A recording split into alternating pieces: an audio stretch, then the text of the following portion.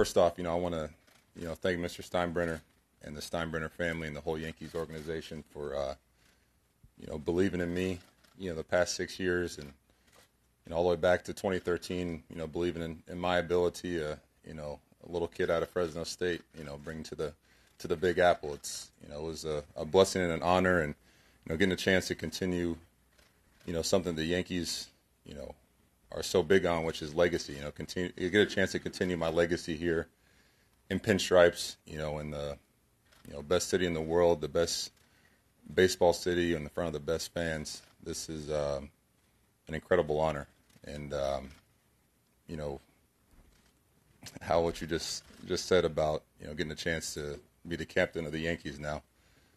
Um, it goes without saying what an honor that is. You know, I look back at the list of you know, Thurman Munson, Lou Gehrig, uh, Ron Guidry, you know, Willie Randolph, Derek Jeter, Don Mattingly.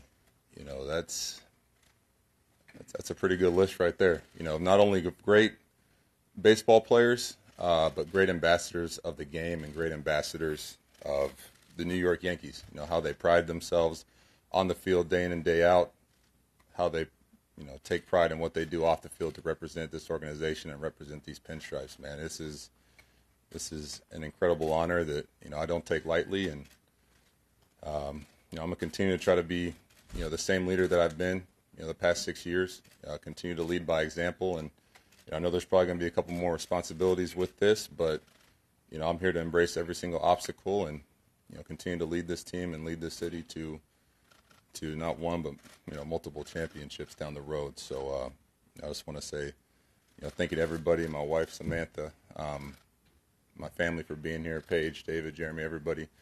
Um, and nice surprise too with, with, Derek and Willie, all you guys showing up, man. This uh, that, means a lot. So just thank you guys.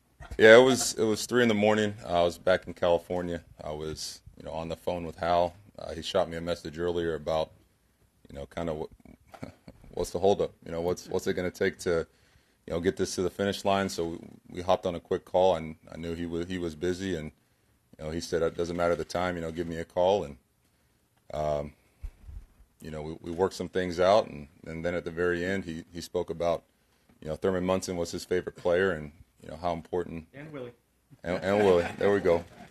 Just how important uh, the captain and and that honor is to not only him and his family, but the the team and this organization, and you know, kind of presented it with me, and it was I was kind of lost at words. I don't think I said anything for it felt like five minutes, but it was probably only a couple seconds. But I was just pretty taken back because that is, you know, such an incredible honor. Like I said, you look back on this list of individuals who've who've had this title. It's it, it's it's such an honor. I'm you know just really blessed to you know be a part of this organization again for nine more years and finish my career here.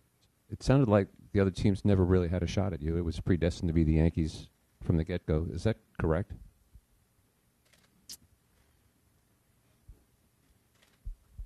Yeah, I think, like I said, in my heart, I knew where I wanted to be, but I think going through this process was a valuable lesson, and you know, it's a valuable tool tool to go through and just see what you know other organizations are about. Because I feel like you know maybe I might have kicked myself if I didn't go through the process. You know, once we got here, and um, I think going through it, it kind of helped me eventually come to a better answer and a clearer answer, which is you know I belong in New York. So, um, you know, it was.